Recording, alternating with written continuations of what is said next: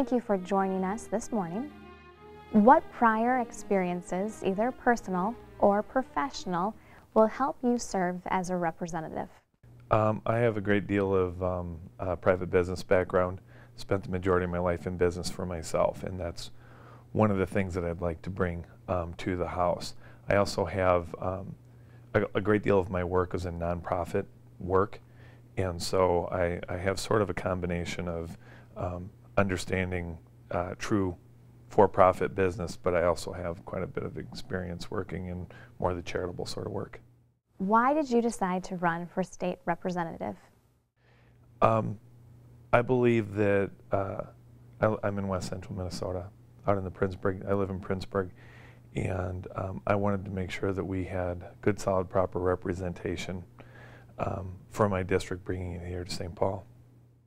Can you tell us a little bit more about your district and what you're looking forward to most in serving your constituents? Sure. Uh, I have kind of a, a, a long district. I have uh, um, almost three full counties plus four townships and another.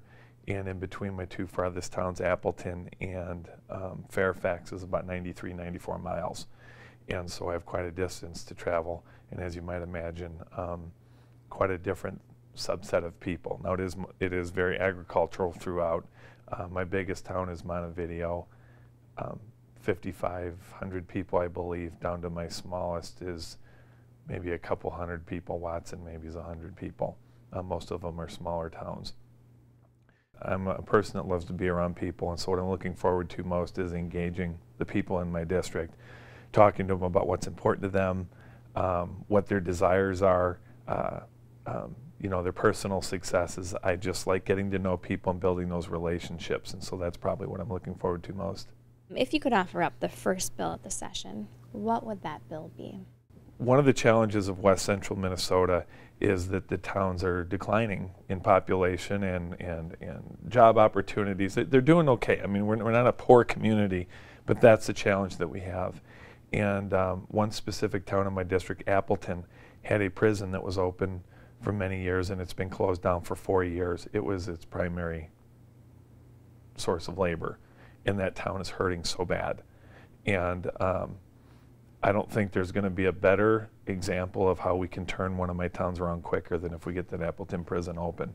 And so what I'm going to pursue is, is how we, the opportunities that we have to be able to populate that prison and bring very solid um, employment back to my district. What book or movie have you recently read or seen would you recommend and why? I, I think it isn't a new, it isn't a recent movie, but it's what's coming to my mind. Um, as we came down the stretch during the during the campaign, I watched the movie Lincoln, perhaps four or five times. It was the way that I'd kind of bring myself down, and um, uh, Abraham Lincoln was very inspiring to me, and I'm sort of a Civil War buff, and I think that there are similarities in our country right now to that. Not the same, but there are some similarities, and I think there's some truths from the Civil War area that speak to us. And the convictions that Abraham Lincoln had are, are really inspiring to me. And so, um, for people that are feeling challenged by what's going on in our world or um, nervous about maybe the direction our country is going, um, I encourage people to watch that movie.